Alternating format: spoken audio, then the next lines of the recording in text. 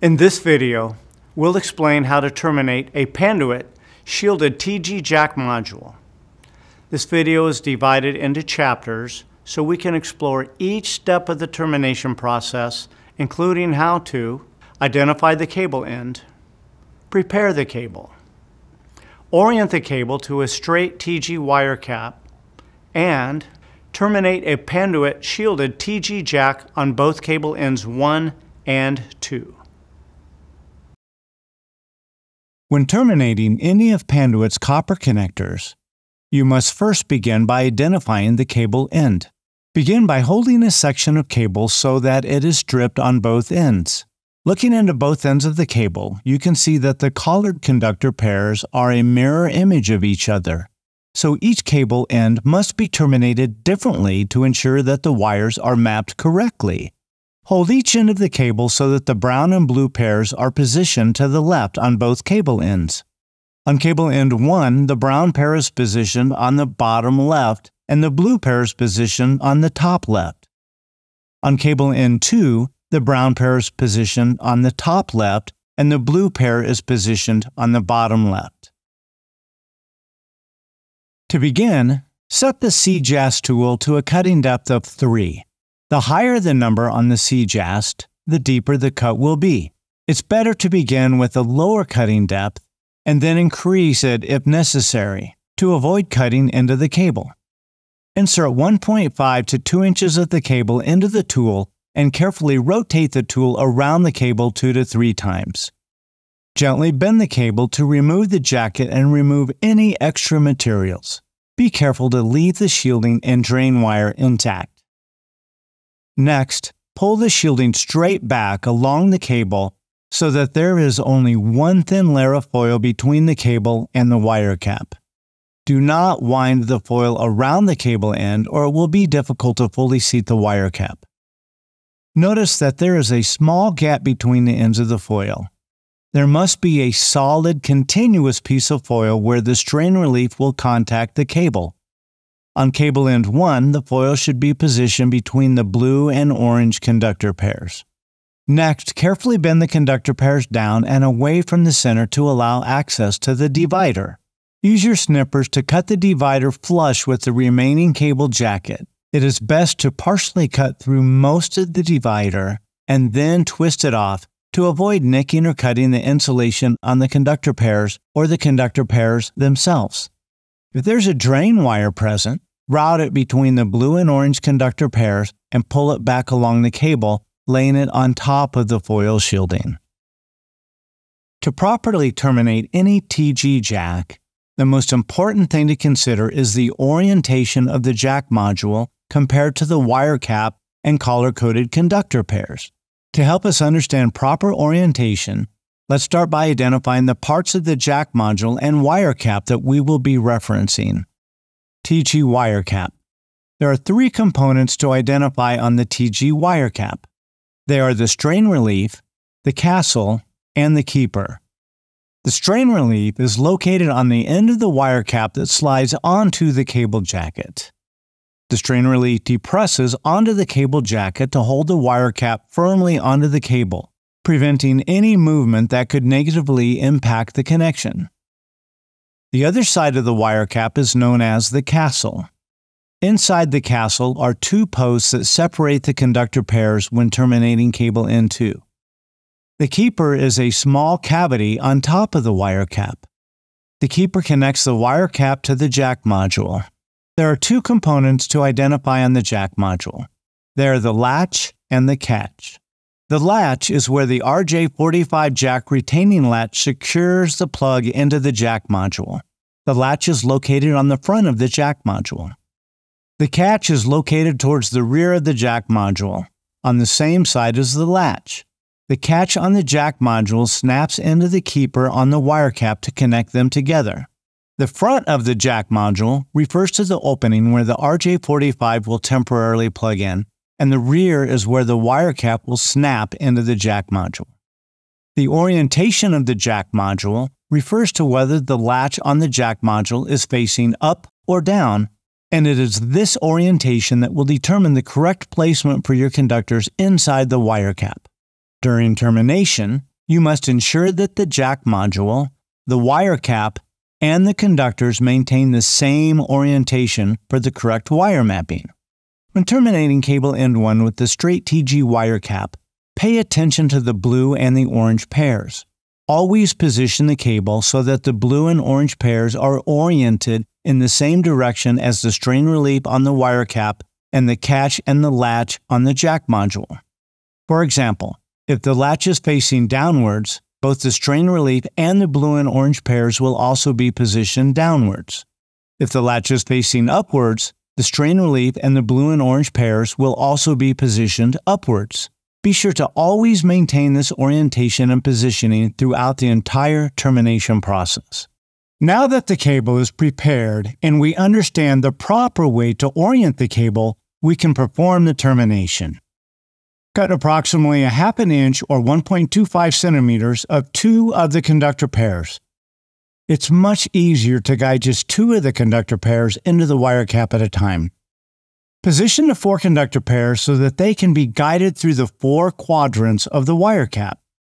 Ensure the strain relief is fully open. If not, squeeze the two tabs on the strain relief to raise it to the top position. Insert the conductors into the strain relief end of the wire cap according to the TIA 568B wiring scheme, with the strain relief on the same side as the blue and orange pairs. Look into the castle and make sure that each conductor pair is placed in the correct quadrant. With your fingers, push the wire cap firmly onto the cable. Make sure that the wire cap is fully seated against the end of the cable jacket. Locate the tab on the green EGJT1 tool and ensure it is facing up with the tool fully open. Bend the conductor pairs to their respective sides to hold the wire cap securely into place. Place the wire cap into the matching size slot on the EGJT1 tool with the strain relief facing up. Close the tool and ensure that the tab comes down directly on top of the strain relief. Apply pressure on the tool above the strain relief and fully depress the strain relief firmly onto the cable jacket. Unbend the conductor pair so they are returned to their original position in line with the cable. Give a firm tug on the wire cap to confirm that it is properly connected and no movement or slack are present. Any slack could allow the strain relief to press against the conductors only instead of the jacket, resulting in a faulty connection. If the wire cap moves, Remove the wire cap and start again, ensuring that the strain relief is in contact with the cable jacket and not only the conductors. Next, untwist the conductor pairs to seat them into their respective grooves in the castle. If the blue pair is positioned on the left side of the wire cap, seat all white conductors on the left, with their colored counterparts on the right. If the blue pair is positioned on the right side of the wire cap, seat all white conductors on the right with their collared counterparts on the left. Untwist the pairs only as much as necessary to seat them into the cap. Any untwisting that occurs inside the wire cap can lead to crosstalk. If the wires become untwisted inside the wire cap, retwist them tighter than they were before. When you untwist them again, you should be able to seat each collared wire into the correct groove while maintaining the proper twist inside the cap.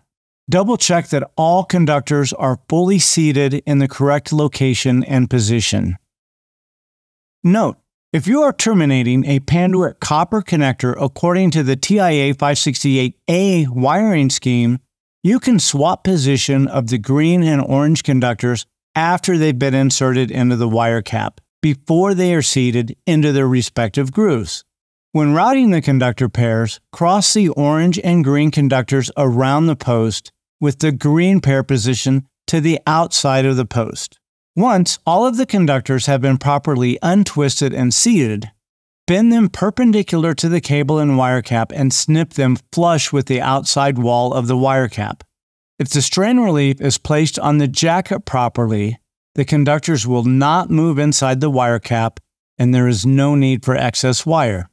Place the jack module on the wire cap with the latch oriented to the strain relief and blue and orange conductor pairs. Hold the tool so that it is open with the tab facing down. Guide the cable between the rounded end of the tool and place the jack module into the slot. hold the jack module firmly into the tool with one hand. With the other hand, lift the free end to push the wire cap into the jack module until you hear an audible click. The cable end 1 termination is complete, and now you can move on to cable end 2. When terminating cable end 2, the objective is to maintain correct wire mapping between ends 1 and 2. The steps to terminating cable end 2 are similar to cable end 1, with two main differences. The first main difference is the orientation of the conductor pairs compared to the wire cap and jack module. The second is the positioning of the pairs in the wire cap. To terminate cable end 2, begin by preparing the cable using the same process that you used to terminate cable end 1. Remember, on cable end 2, the brown pair is on the top left and the blue pair is on the bottom left as you look into the cable. Next, ensure that there is a solid continuous piece of foil positioned between the green and brown conductor pairs.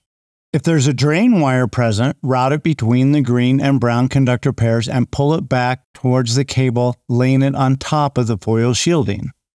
If you notice that the gap in the foil is positioned between the wrong conductor pairs, snip approximately 2 inches off the cable and start again. When terminating cable end 2, position the cable so that the brown and green pairs are oriented in the same direction as the strain relief, the catch, the latch, and insert them into the wire cap. Be sure to always maintain this orientation and positioning throughout the entire termination process. Continue to follow the same steps as cable end 1 until the strain relief has been depressed. Before we untwist and seat the conductor pairs into the grooves of the wire cap, we need to reposition the conductor pairs on cable end 2 so that they map properly to cable end 1. When routing the conductor pairs, Cross the orange and green conductors around the post with the green pair positioned to the outside of the post. Cross the brown and blue conductors around the post with the blue pair positioned to the outside of the post. The blue and green conductor pairs are routed to the outside of the post because it provides the most separation between these pairs, reducing crosstalk. The highest probability for crosstalk is between the blue and the green pairs. If you are terminating a Panduit copper connector according to the TIA 568A wiring scheme on cable N2, you can simply swap the position of the blue and brown conductors after they have been inserted into the wire cap before they are seated into their respective grooves. Then fully seat the cross pairs into their respective grooves and complete the termination. Once you have completed the termination, it's time to test the installed permanent links. Testing the permanent links ensures that they perform in accordance with industry standard ANSI TIA 568 and the Panduit Certification Plus system warranty. Panduit accepts test results from a defined set of approved testers. You can find this list on the Panduit website. Read the manual to become familiar with setup and testing for your specific device.